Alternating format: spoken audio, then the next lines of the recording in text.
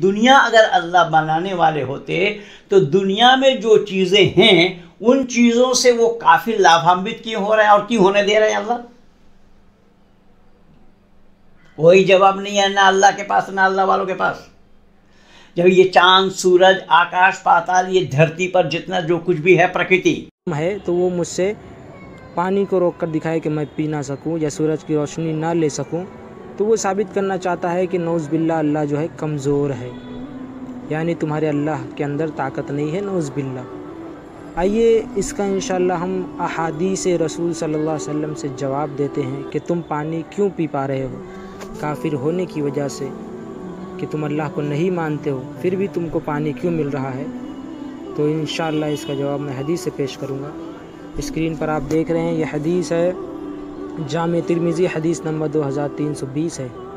हदीस इस तरह है, अन सहल इब्न सादिन काल काल रसूल सल्लल्लाहु अलैहि वसल्लम, लौ कानत दुनिया तअदिल इंदल्लाहि जनाह बऊज़तिन मा सका काफिरन मिनहा शरबतम मा वफिल बाब अन अबी हुरैरा, काल अबू ईसा, हादा हदीस सहीह गरीब मिन हाज़ल वजह।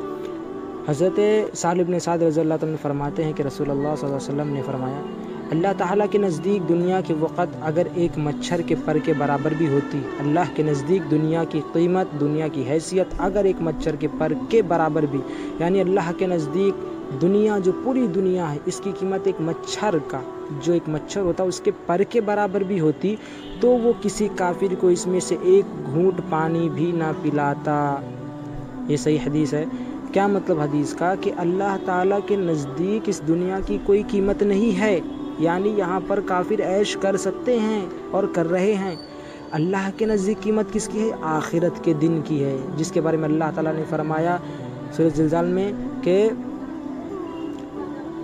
इदा ज़ुलज़िलतिलअर्ज़ वख़रजतिलअर्ज़ वस्क़ालहा वक़ाल इंसान मा लहा यौमइज़िन तुहद्दिसु अख़बारहा बिअन्न रब्बका औहा लहा यौमइज़िन यसदुरुन्नास अअमालहुम फमन यअमल मिस्क़ाल ज़र्रतिन खैरन वमन अमल मिसकाल ज़र्रतिन शर्रा अल्लाह ने फरमाया कि ज़र्रा बराबर भी किसी ने खैर किया है, उसके वहाँ पर उसको बदला दिया जाएगा और ज़र्रा बराबर भी उसने शर किया है तो उसको वहाँ पर उसका जो है गुनाह, उसको मिलेगा, उसकी सज़ा मिलेगी।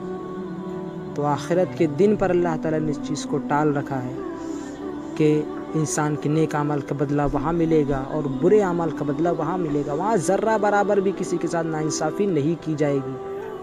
कोई काफिर है खालिदीन फ़िया अबदा। हमेशा की जहन्नम में अल्लाह ताला काफिरों को डाल देगा। वहाँ पर कोई रियायत नहीं रहेगी।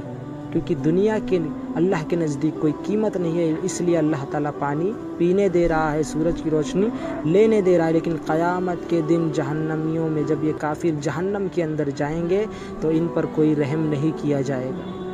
और जो जन्नत में जाएँगे ईमान वाले जो अल्लाह को मानते हैं, वो जन्नत में जाएँगे। तो अल्लाह ताला ने फरमाया कि ऐसी नेमतें तैयार कर रखी है जिसको न किसी आँख ने देखा है, न किसी कान ने सुना है, न किसी दिल पर उसका गुमान आया है। तो ये अल्लाह ताला ने जो आखिरत के दिन पर इंसाफ को टाल रखा है इन अल्लाह ताला आखिरत के दिन करेगा और ज़र्रा बराबर भी इन किसी के बीच में अल्लाह ताला नाइंसाफ़ी नहीं करेगा। लेकिन ये दुनिया का मामला ऐसा है कि अल्लाह ताला ने सबको दे रखी है। काफिर भी पिए, मुसलमान भी पिए, यहूदी भी पिए, ईसाई भी पिए, सब पिए। लेकिन क़यामत का दिन जो है, वो अल्लाह ताला ईमान वालों को ही कामयाब करेगा।